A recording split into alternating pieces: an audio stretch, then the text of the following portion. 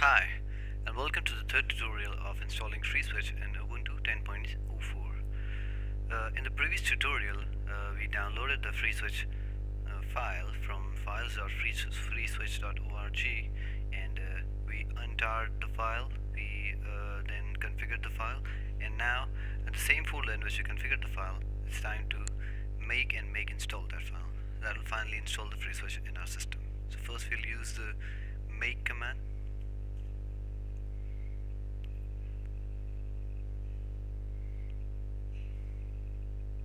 and after that. We'll run the make install command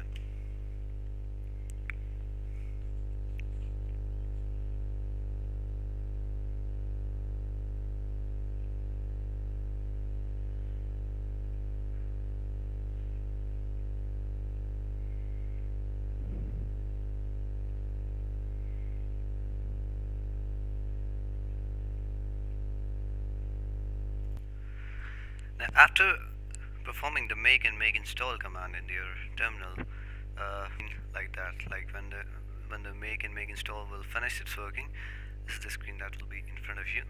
And uh, I didn't show you the complete in installation because that took a lot of time, and uh, I'm just showing you the final screen. So that screen comes to your PC, and it means that you have installed successfully and uh, correctly uh, the FreeSwitch in your system. Now these are the commands that are still needed further uh, to install the sounds in your FreeSwitch. Now you can uh, sequentially uh, run each command in your terminal and that will install the sounds in the FreeSwitch. But uh, not going to do that because that will again take a lot of time because because first it will download all the sound files from the internet and these are the big files. It will take a lot of time to download and uh, then it will install them. That will again take, take a lot of time. And uh, by now I I can surely say that you can you're yourself are capable of installing them manually. So I'm leaving the installation of FreeSwitch here, uh, but uh, FreeSwitch has been installed.